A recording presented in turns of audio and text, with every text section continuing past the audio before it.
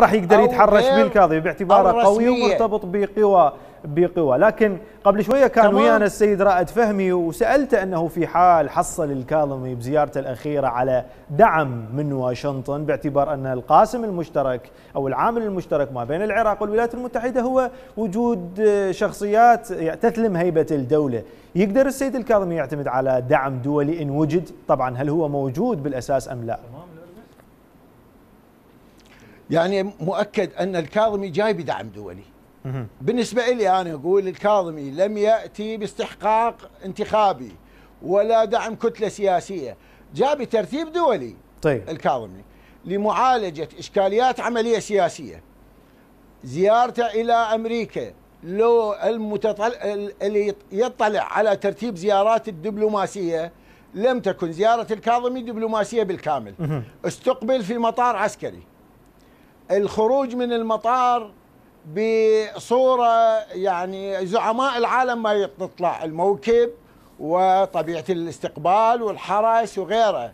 هذا اهتمام بهذا الزياره طيب أستاذ فارس إذا تعتقد الزيارة. طيب أستاذ فارس خليني أقاطعك. إذا تعتقد انه الكاظمي جاء بدعم أمريكي ليش تستبعد انه هذه العملية ربما سوف تكون فقط بروباغندا ودعاية إعلامية؟ طالما هو حصل على دعم الرجل.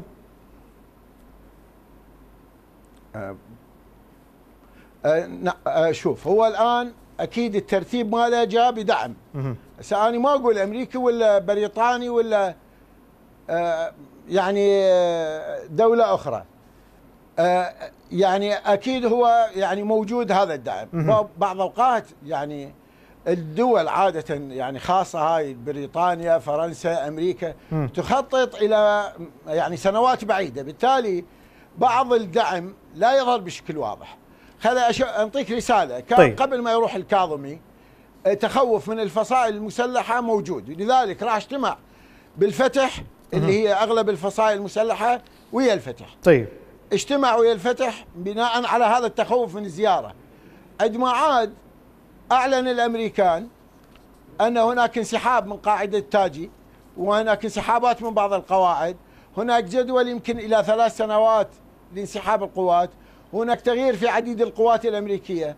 هذه رسالة دعم للكاظمي. طيب. أمام من يعني يتوجس منه. مع العلم أن الانسحاب من التاجي صار له أشهر. مو بزيارة بدأ. فصار له مدة. لكن هذا ترى أن يعني الأمريكان في هذه الرسائل هو دعم للكاظمي.